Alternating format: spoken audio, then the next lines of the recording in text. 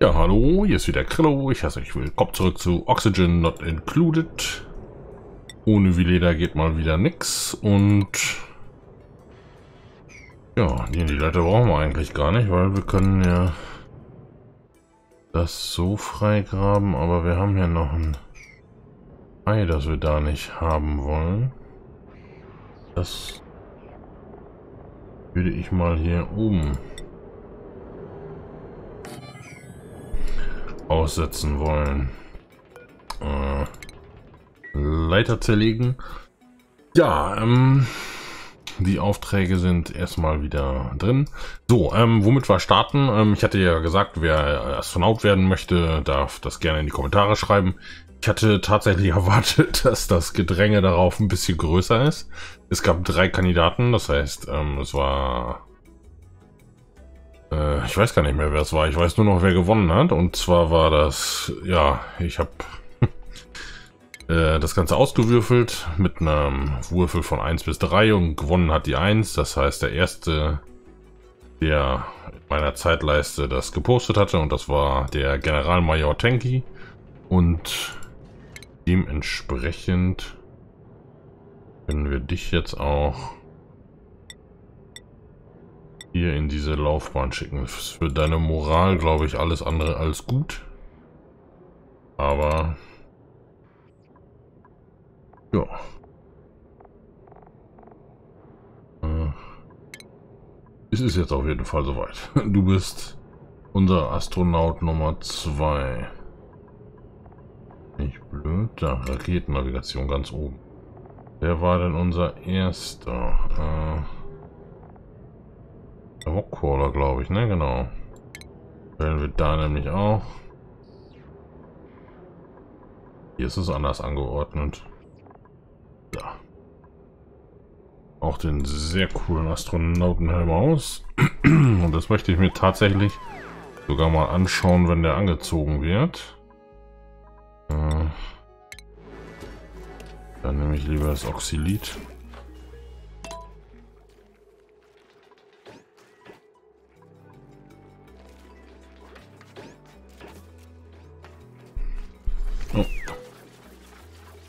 Da bitte. oh, Entschuldigung, was war das denn? da hat der Helm abgeholt, okay. Jetzt haben wir es gesehen. Bei Rockcrawler. Ja, müsste auch gleich kommen, aber jetzt haben wir wenigstens einmal gesehen, wie wir den Astronautenhelm aufsetzen. Sehr schön. Ähm ja, so, hier geht's jetzt weiter mit dem nächsten Element. Hm. Habe ich vergessen nachzuschauen, wie viel Forschungsmodule ich sonst gebaut habe. Hm. Müssen wir vielleicht gleich sowieso mal schauen, wenn es äh, in Bezug auf die, die aufs Teleskop achten. Da müssten wir dann mal ansehen. Würde ich da einmal so komplett langlegen. Ähm, vielleicht kann was da sehen. Ich glaube, dass es pro Planet fünf Sachen waren, die man erforschen kann.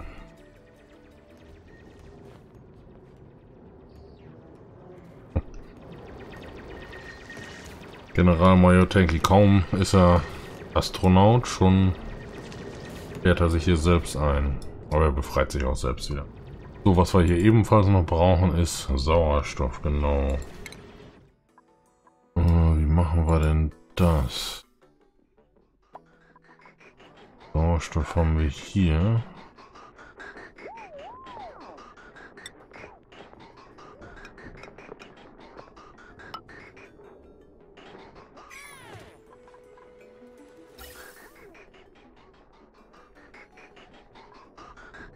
Bauen wir mal eine Leitung.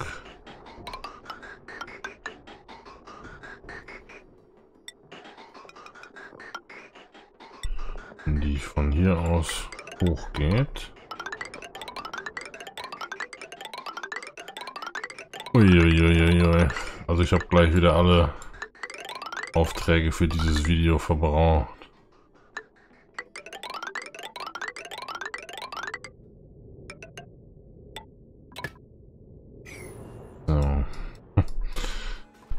Das alles fertig gebaut ist. Die alten Aufträge waren ja noch nicht mal komplett abgearbeitet.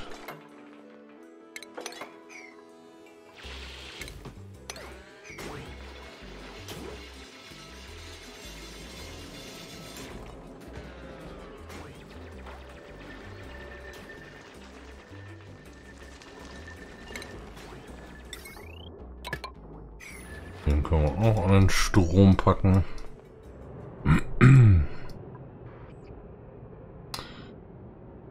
Jo, so, Tiereier.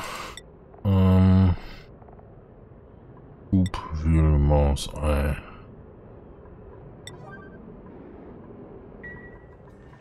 Dürfte hier jetzt runtergefallen sein, genau. Oh Mensch.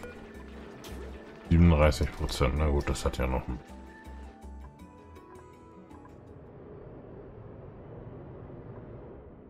So, ähm... Dann, oh ja, wir haben hier oben tatsächlich sehr viele Schleimlungenkeime. Ähm...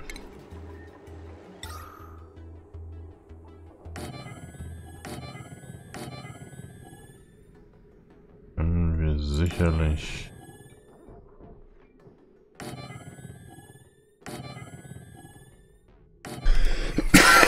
Oh, entschuldigt, aber ja, ihr hört's ja, ne? Klingt nicht so gut. So, lassen wir mal schneller laufen, damit die halbe Stunde schneller rumgeht. Hu, hu, hu, hu. Ja, ja, ich weiß. Der war ganz schlecht. So. Das Ei kann uns nicht mehr ärgern. Ähm, dann hatte Kerstin ebenfalls hier einen sehr guten Einwand. Wenn wir die Leitern ein Feld weiter nach unten bauen in Zukunft, das heißt... Äh,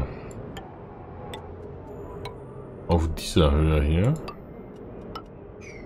dann können wir auch nicht mehr in Gefahr äh, oder haben wir nicht mehr die Gefahr, dass unsere Duplikanten hier oben hochklettern können. Äh, werden wir definitiv so machen. So, was hatten wir noch? Das hatten wir... Ach so, genau. Äh, der Öltank entleert sich langsam. Warum das passiert, ist eigentlich klar. Wir haben zwei Pumpen, die Rohöl abpumpen. Mal mehr, mal weniger, wenn ich die eine hier sehe. Weil die steht gerade still, aber wir haben nur eine Leitung, die permanent hier reinpumpt. Hier kommt ab und zu auch mal was, ja. Aber ansonsten ist es nur die eine. Wir könnten das erweitern, indem wir hier äh, noch eine zweite Leitung hochlegen, aber ich weiß gar nicht, ob wir das wollen. Ich vermute mal sehr stark. Wir haben hier reichlich Erdgas. Ja, Wasserstoff haben wir nicht so viel, aber...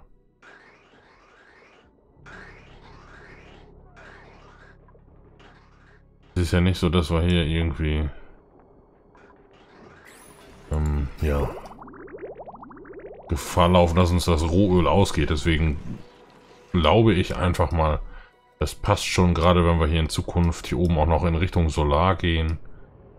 Ähm, dürfte das wahrscheinlich dann doch, ja, relativ ungefährdet bleiben. Ähm, dieses Leiterkabel legen wir noch hier hoch. Hm, achso, hier unten seht ihr übrigens was. Äh, Blueprint, das ist ein neuer Mod. Den werde ich euch heute Nachmittag vorstellen. Also das heißt, das Video dafür ist schon aufgenommen. Ähm, könnt ihr euch heute ansehen. Super Mod, mehr will ich noch nicht verraten. Ich benutze ihn auch extra hier jetzt nicht. Um dann nicht zu viel vorwegzunehmen. Also für diejenigen, die natürlich das Video am Dienstag erst abends sehen, dann ist das Mod-Video auch schon da.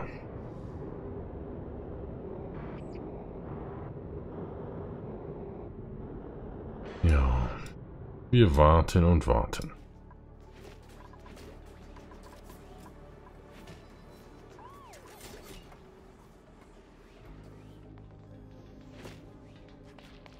Der verschmutzte Sauerstoff wird hier überall gereinigt. Hier. Ja, ob das hier so gut passiert, weiß ich noch nicht.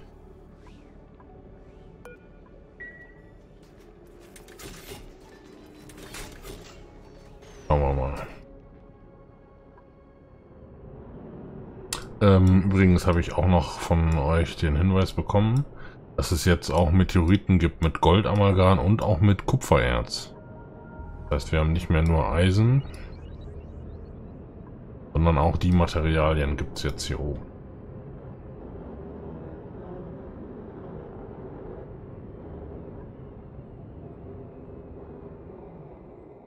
So, fünf Stück sind fertig. Ja, wir müssen halt warten, bis wir das Teleskop... Ah ne, wir können das Teleskop nutzen.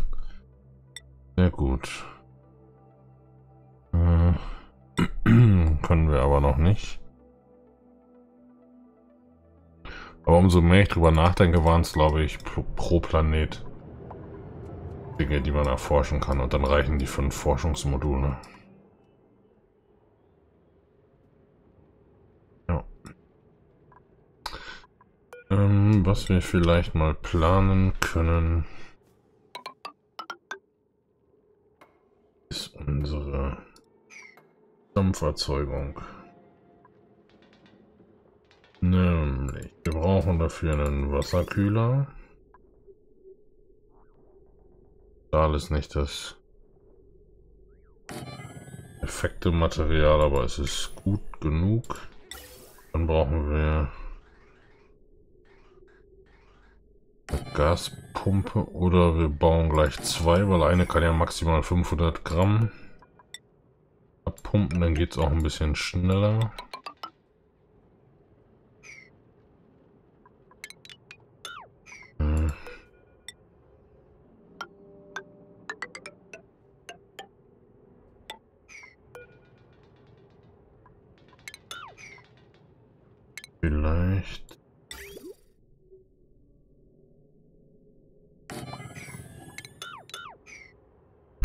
Äh, verlegen wir das nochmal leicht.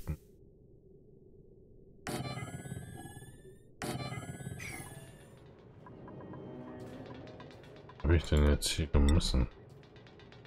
Na, ist egal, da muss ja nicht. Es passt schon. So. Ähm. Was wir definitiv brauchen einmal ist ein... Wolfram hatten wir ja nicht, ne? Ein Auslauf.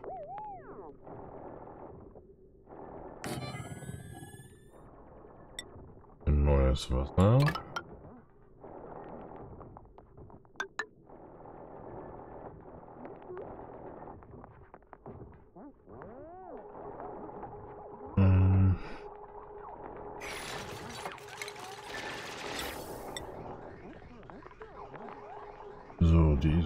Gasleitung. 11,6 Tonnen Keramik haben wir erst. Dann machen wir das mal doch aus.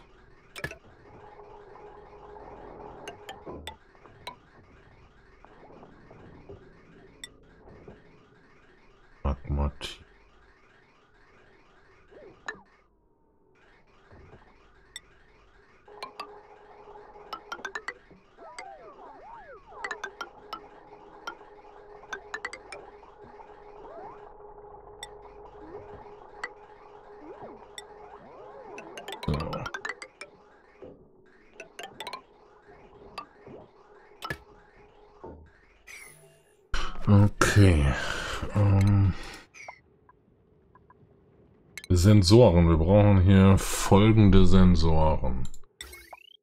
Ähm, wenn hier kein Wasser oder keine Atmosphäre drin.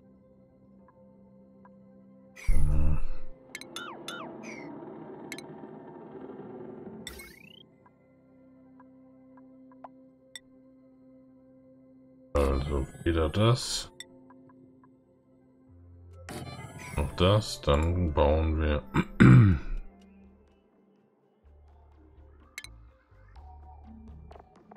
ein Oder-Gatter.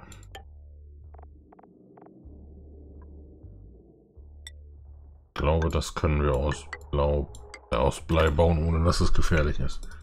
Dann soll das eingeschaltet werden. Oder bin ich jetzt blöd? Ne, eigentlich müsste das so funktionieren.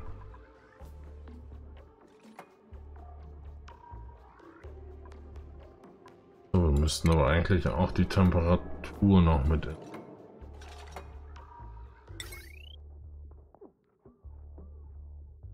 Ja. Das heißt, wir brauchen auch noch ein Und-Gatter. Also wenn eins dieser beiden Dinge geben ist. Also eins von den beiden plus die Temperatur ist noch nicht zu hoch. Dann schalten wir es ein. Ja.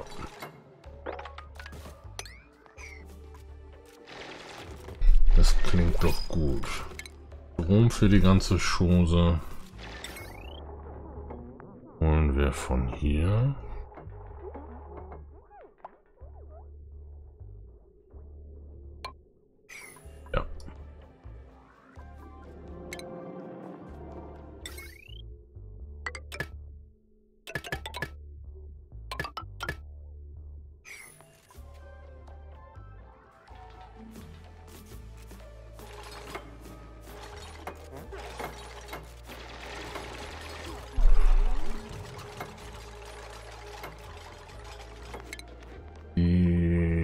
Gaspumpen brauchen auch einen Thermosensor.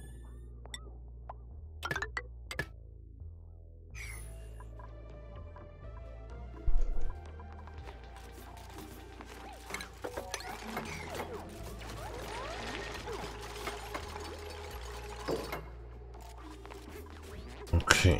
Ja, liebe Duplikanten, dann könnt ihr mal zeigen, was ihr drauf habt. Baut mal alles schön fertig. In der Zwischenzeit tausche ich da einmal aus. Nämlich in der Leiterkabelbrücke anstatt im Leiterkabel.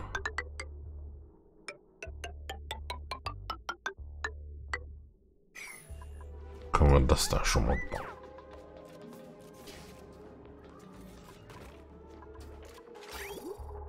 So, sauberes Wasser. Wo bekommen wir denn... Mensch, das... Nenne ich mal einfach.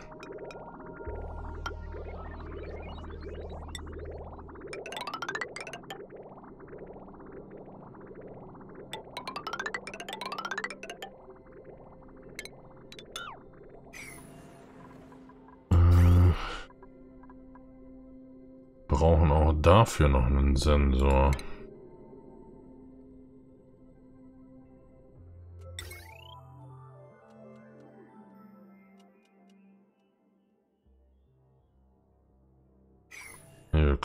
Eigentlich... Mal noch nichts. Ich glaube, dass wir das Signal von hierher auch für unseren äh, für unser Ventil benutzen können.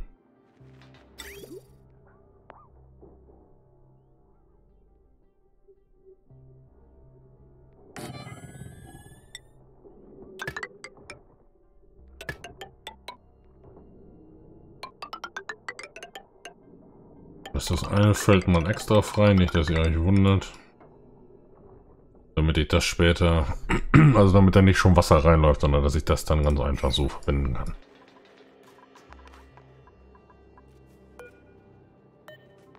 So, Atmosensor, wenn...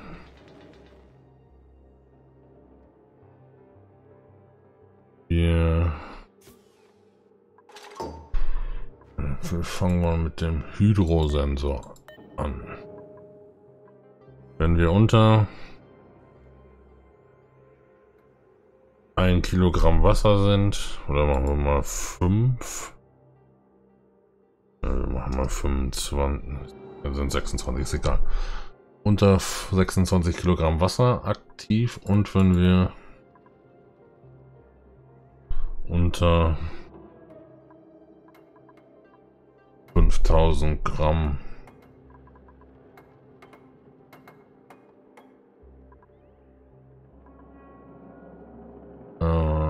Sauerstoff hier dann in dem Raum haben, dann möge sich doch bitte der Wasserkühler einschalten.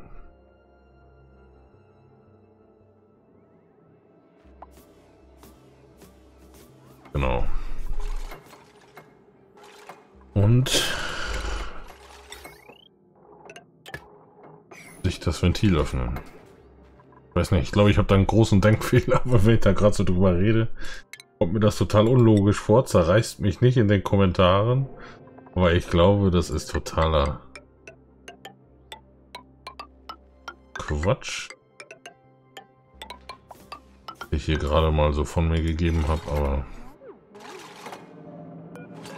Ja, und eben wenn wir unter einer Temperatur sind von zum Beispiel 150 Grad hier, dann soll er auch laufen.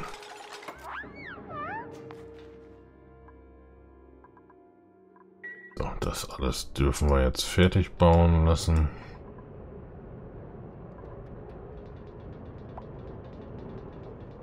Das nur, ne, ist doch noch ein bisschen mehr von der Stromleitung, das fehlt. Ist unsere, wow, unsere Sauerstoffleitung ist komplett fertig. Ich bin begeistert. Ne, dann machen wir doch hier Priorität, bauen, 6. Einmal das. Das können wir mitnehmen.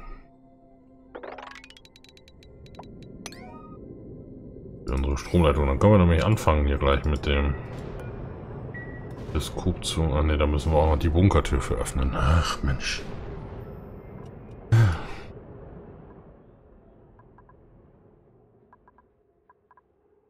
Es gibt immer so viel zu tun.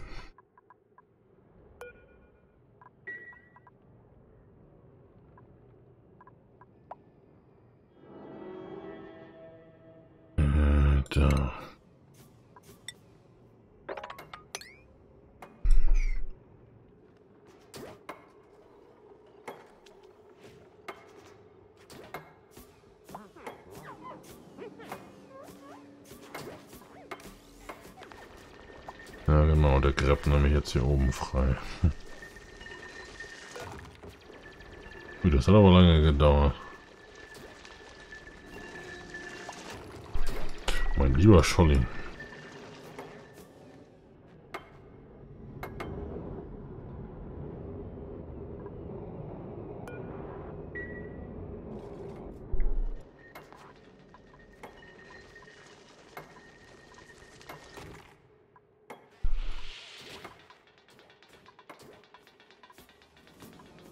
Glaube, über die Automatisierung in dem Dampfraum reden wir nochmal. Wenn ich da so ein bisschen in mich gehe und drüber nachdenke. Das war gerade wieder ein dunkler Moment in meiner Geschichte hier in Oni auf YouTube.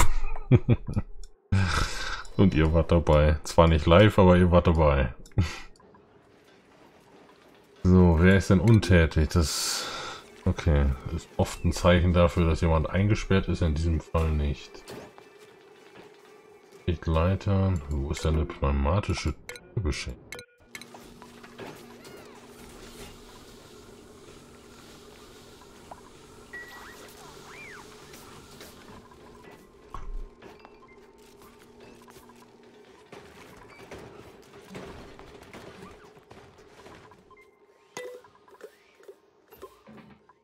Gas, okay.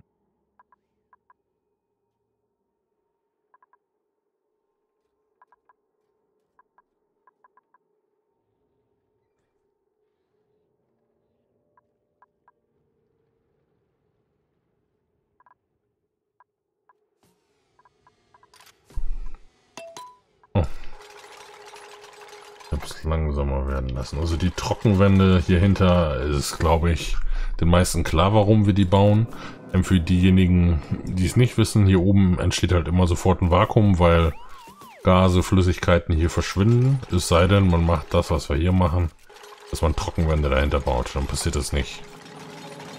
Dann erzeugen wir quasi, ja, einen Raum im Weltall. Nicht nur quasi, das machen wir. Bis wir hier die ganzen Keime getötet haben. Das wird noch den ein oder anderen Zyklus dauern. Helfen wird es bestimmt.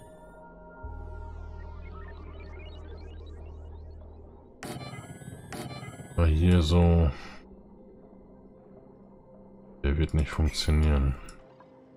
Noch so den einen oder anderen Luft Lufterfrischer dazu bauen.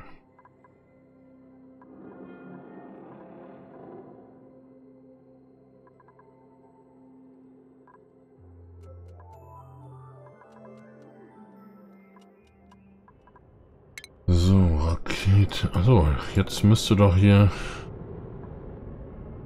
keine Sichtverbindung. Achso, ja. Ja, das machen wir aber erst im nächsten Video. Dass wir das Ganze angehen. Hm.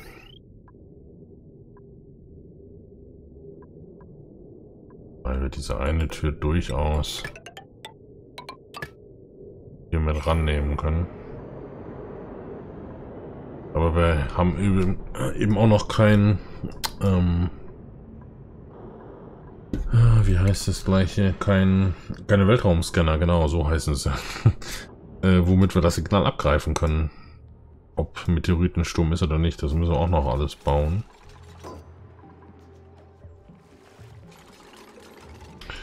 Ach, wisst ihr was, wir bauen hier einfach schon mal unser Kommandomodul drauf. Wenn es dann noch zu wenig war, können wir es ja immer noch abändern.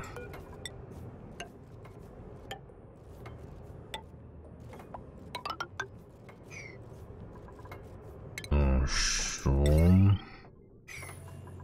Ding braucht viel Strom, oder? 0,2 kW.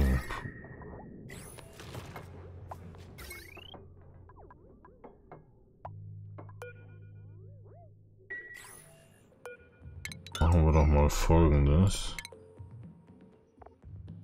Stelle. Schließen wir den Starkstrom dann hier mit an.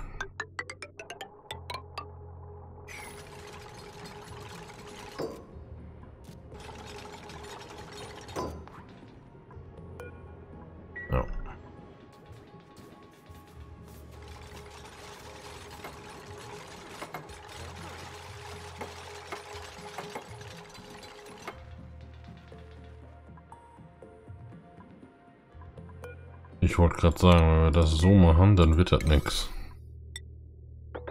Erst das hier bauen. Kabel.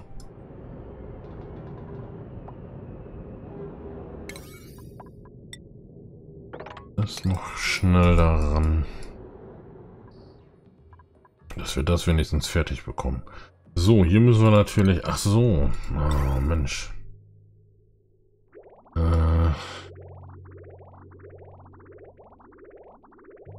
Welche Flüssigkeit kühlen wir denn?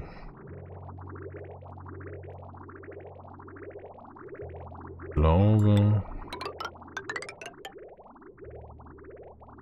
Ja. Wir kühlen das Rohöl, das von hier unten kommt.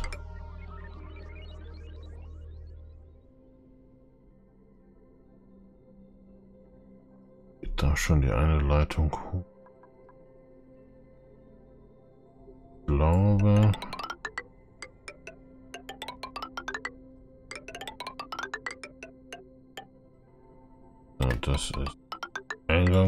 Eingangsseite.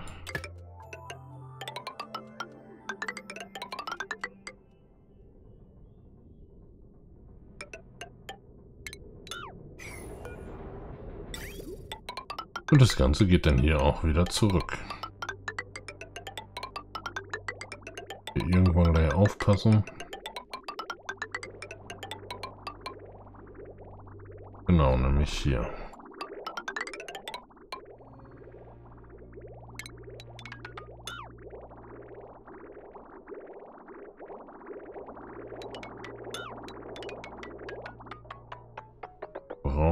Eigentlich alles kein Mensch mehr.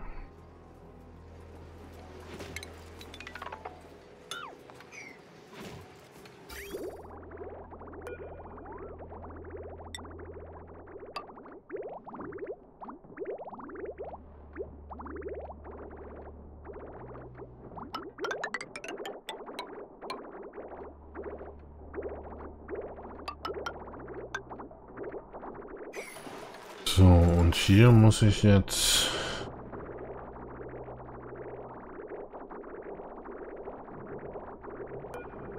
Das können wir ruhig so anschließen, dass es da wieder reingeht, aber ich muss es hier noch priorisieren. Das heißt, wir machen das so.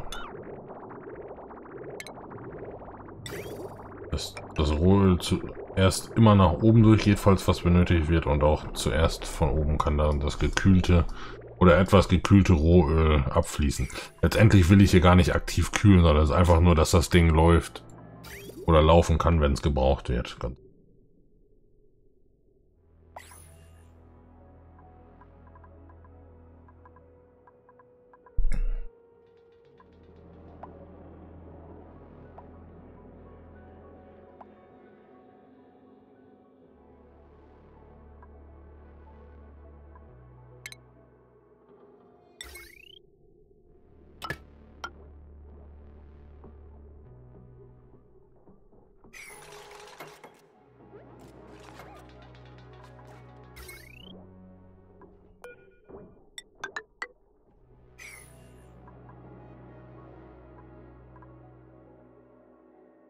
Ja, da bin ich echt mal gespannt.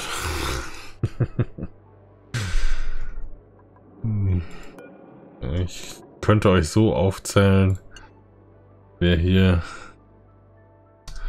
die Hände über dem Kopf zusammengeschlagen hat bei der ganzen Aktion.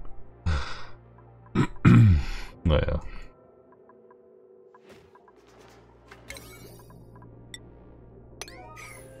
So, da noch Strom ran.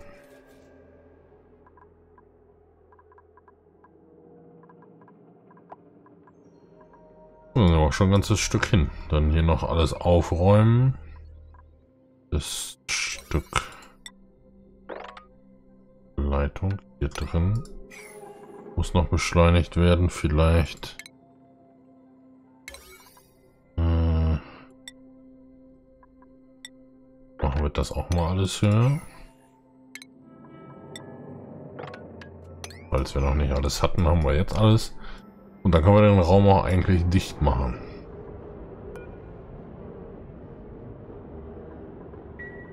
Ja, das will ich nicht ohne Automatisierung machen. Nee, nee.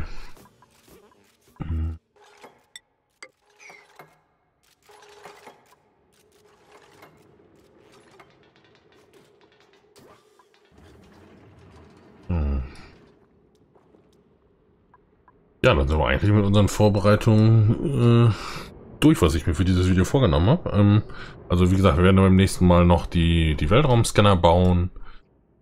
Und ich glaube, dann sind wir auch gar nicht mehr so ganz weit von unserem ersten Flug entfernt.